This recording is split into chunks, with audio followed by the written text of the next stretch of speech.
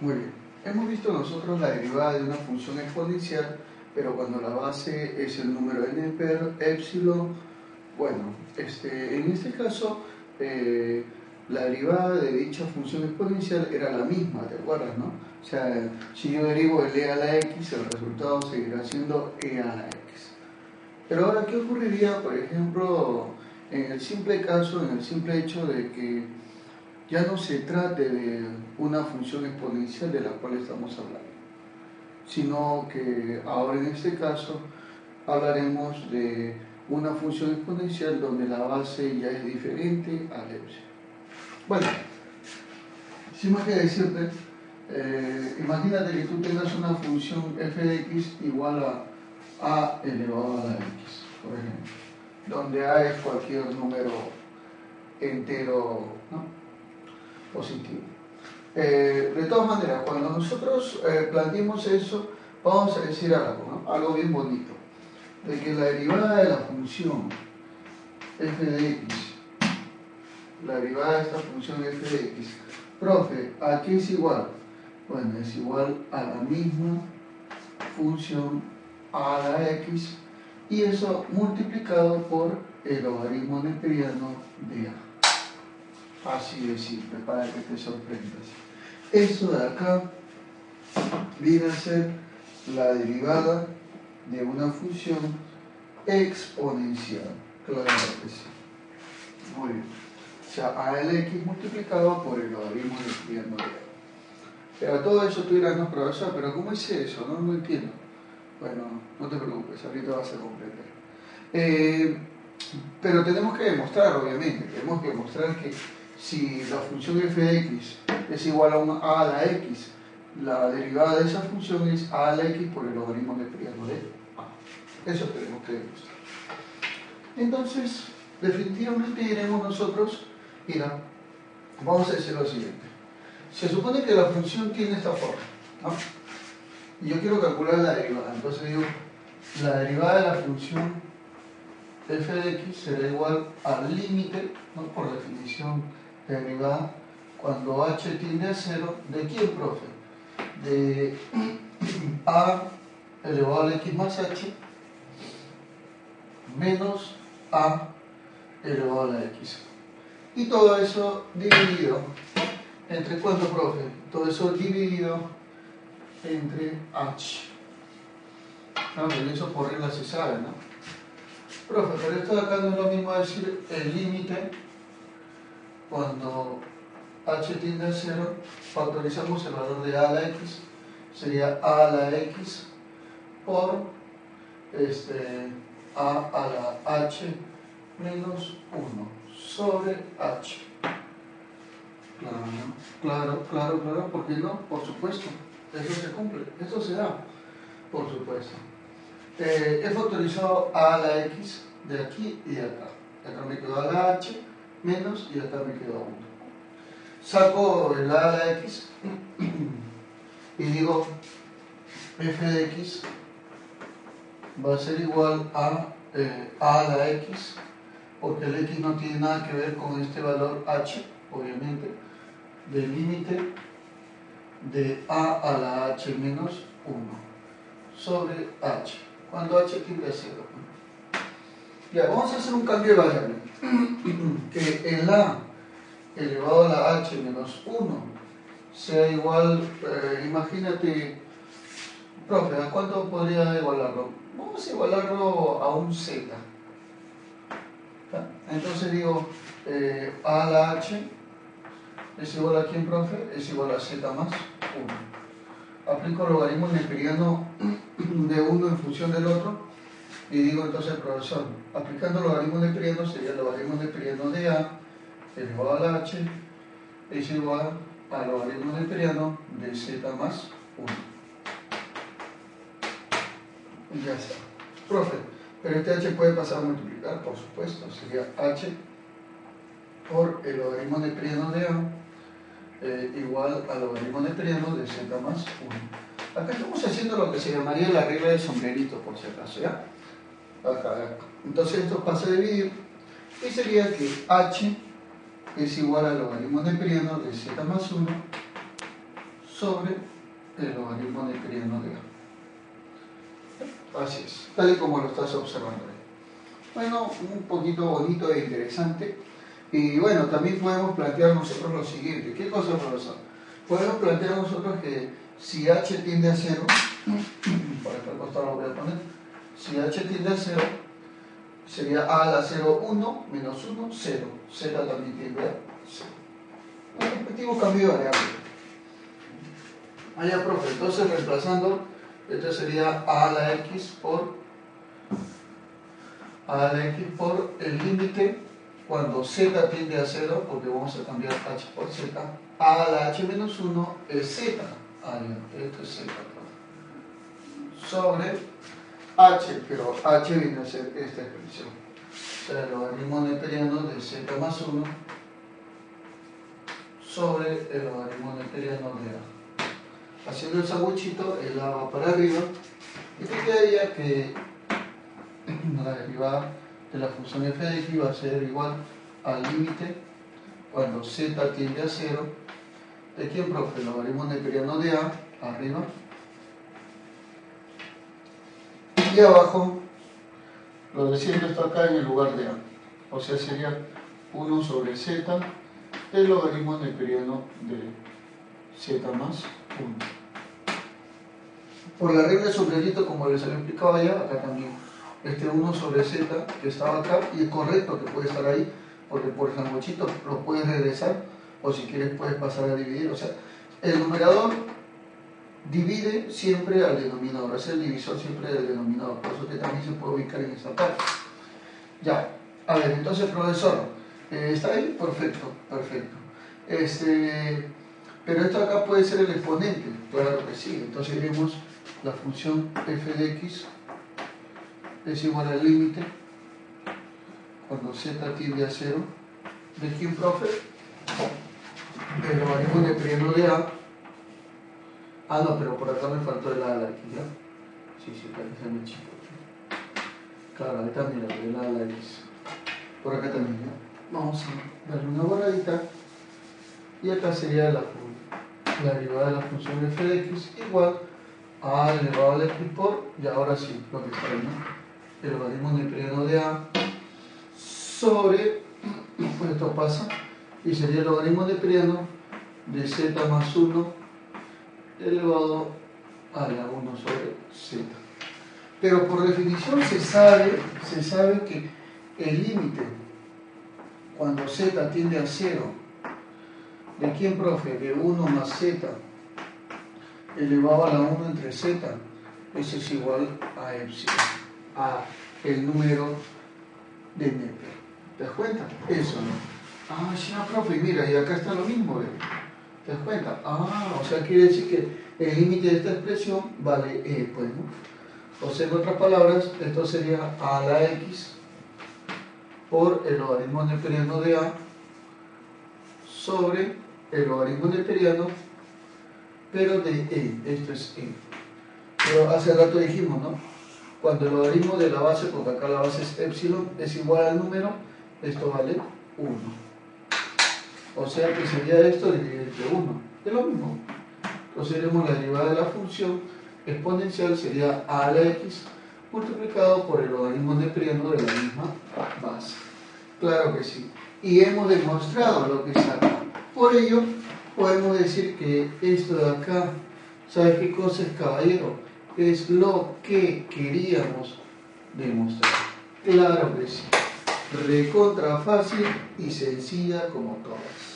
Muy bien, veamos el desarrollo del siguiente ejercicio a continuación, en el cual nos dice hallar la derivada de la función f de x, que es igual a x al cuadrado por 5 elevado a x al cubo más x al cuadrado.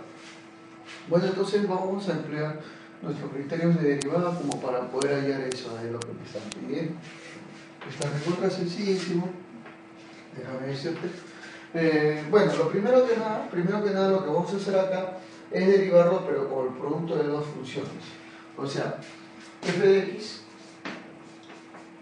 es igual a quién, profe? Es igual a x al cuadrado por 5 elevado a la x al cubo más x al cuadrado. Entonces, a lo que yo me refería era de que esta era una función y esta otra era una función también. Muy bien. Entonces, eh, simplemente la derivada de la función f de x correspondía a ser a la derivada de esta primera, que era 2x. ¿Está bien? 2x por, bueno, la segunda sin derivar, que es 5 elevado a la x al cubo más x al cuadrado. Así es, ¿no? La derivada del primero por el segundo. Más, ahora este primero sin derivar, x al cuadrado, por la derivada de lo que está acá.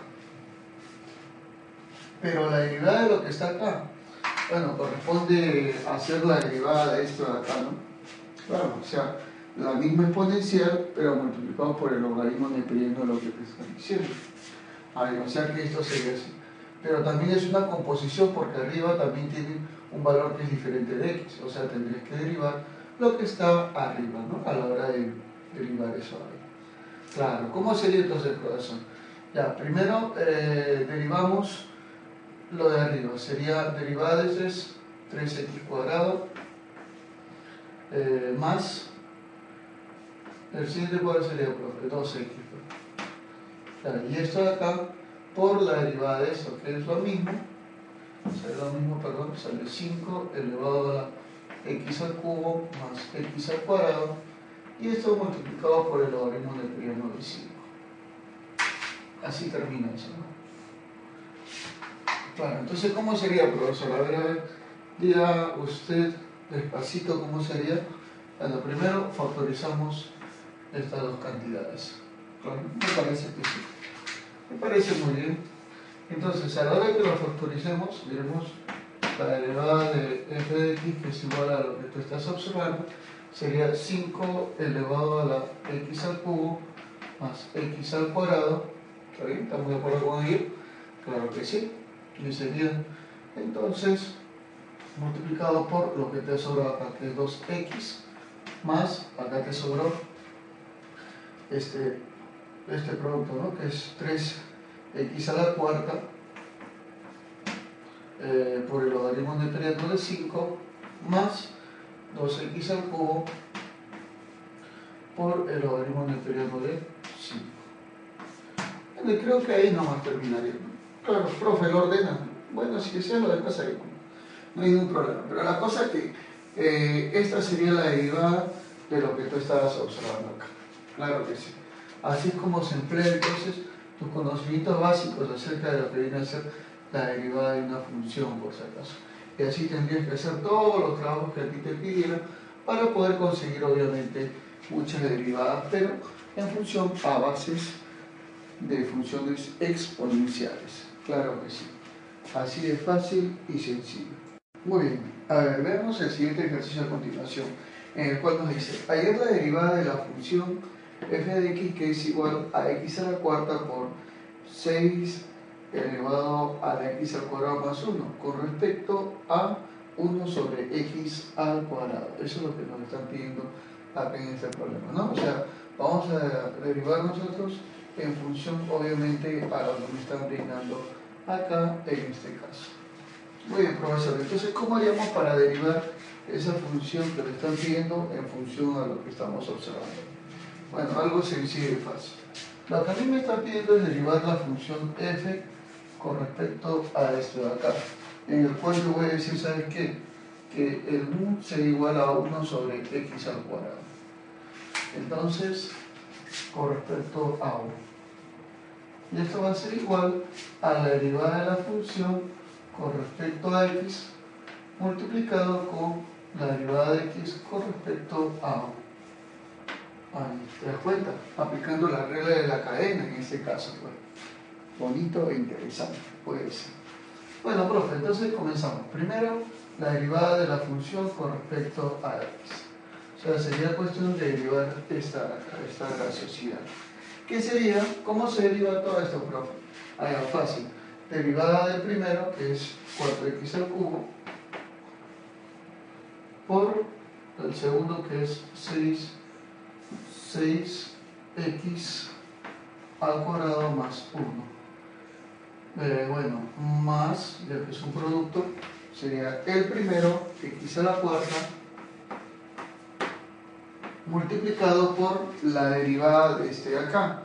Pero la derivada de este de acá cumple eh, una función exponencial que sería lo mismo multiplicado por el logaritmo neperiano. Pero también es una composición porque arriba eh, va una función de x. O sea, sería primero entonces la derivada de esta función, que sería cuánto, profe? Bueno, la derivada de x al cuadrado es 2x. La derivada de 1 es 0. Bueno, se acabó. Por 6 eh, a la 6, no sé por qué pongo, ¿eh? 6 a la x al cuadrado más 1 por el logaritmo neperiano de 6. Claro, así sería entonces eso. Bueno, entonces definitivamente diremos que la derivada de la función en base a x sería igual a quién, profe. A ver, eh, bueno, factorizamos el 6 a la x al cuadrado más 1.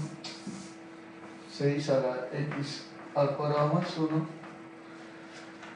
Y esto se multiplicará por quién, profe? Por 4x cubo. 4x cubo, ¿qué más, profe? Ah, ya. Más eh, x a la cuarta sería dos veces x a la quinta eh, más logaritmo de, por logaritmo del periano de 6. ¿Está bien? Logaritmo del periano de 6. Nada más. Así sería, ¿no? ¿Está bien? ¿Estamos de acuerdo con ello? Claro.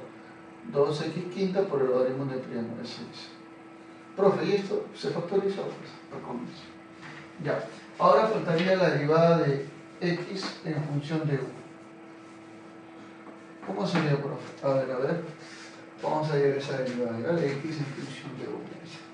A ver, eh, se supone que si tú tienes esto acá, si tú presentas esto, lo que estás observando ahí, entonces vas a tener que despejar, es decir, vas a multiplicar y vas a dividir x al cuadrado es igual a 1 entre 1.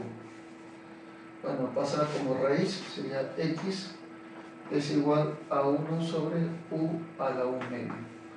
Porque es lo mismo decir u a la menos u medio. Ah, claro, puede ser, como no, por supuesto. Por supuesto. Ya, profe. Entonces, x es igual a u a la menos u medio. La derivada de x en función de u sería simplemente u menos u medio. ¿Está bien? Y eso multiplicado por u elevado a la menos 1 media menos 1, que es lo mismo decir menos 1 medio por u elevado a la menos 3 medios. Ya, pero da la casualidad que este u es 1 sobre x al cuadrado. O sea, sería la derivada de x en función de u es igual a quién, profe? A menos 1 medio de aquí, de 1 sobre x al cuadrado. ¿Está bien? ¿Estamos de acuerdo con ello? Y eso elevado a la menos 3 medios. Bueno, con el signo negativo se invierte la cantidad, se invierte la cantidad y luego lo, lo dejas ahí. O sea, sería cuánto, profe, a la hora de los derivados, simplemente, simplemente sería este, eh, x elevado al cubo, pero con signo menos, obviamente, menos un medio de quién. Este con signo menos se invierte, sería x al cuadrado, se te van los patitos y te queda 3. O sea, x elevado al cubo. Menos un medio por x elevado cubo. ahora sí. Esto de acá lo voy a reemplazar con este porque obviamente es muy importante lo que estamos viendo acá y lo que estamos viendo acá.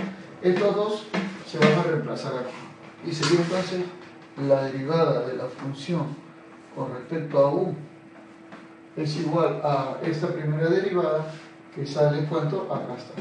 Ahí está. ¿Lo viste? Sí.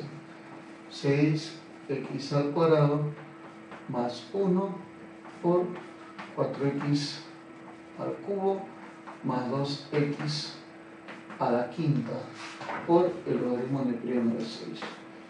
Y esto multiplicado por la derivada de x en función de u, que acá está, sería menos un medio de x elevado al u.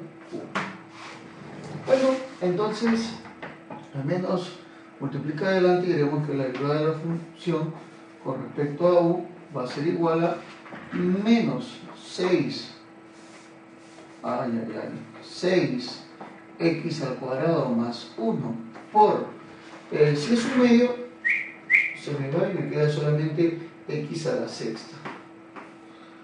Eh, si es un medio, se te va y te queda x a la octava, más x a la octava por el logaritmo neperiano de 6. Y esto, caballeros, es la RPPA de nuestro problema. Claro que sí. Recontra fácil y sencillo. O sea, esto de acá es la derivada de esta función con respecto a 1 sobre x al cuadrado. Así se resuelven este tipo de problemas, caballeros. Así es como se debe hacer esto de acá.